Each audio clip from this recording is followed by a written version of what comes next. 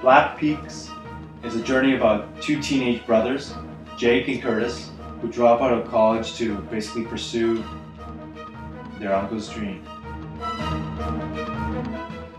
Uncle Sam was a mountain biking champion. His passion was to ride the most dangerous slopes.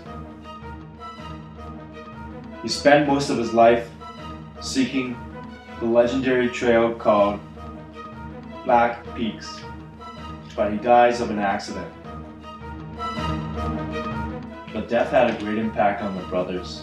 As a part of their grievance, they made it their goal to continue their uncle's legacy. Along the way, they met like-minded enthusiasts who showed them the way to Black Peaks. This movie shows a lot about mountain biking, but also touches the themes of brotherhood, courage, and passion. Guys that we had doing the stunts are insane.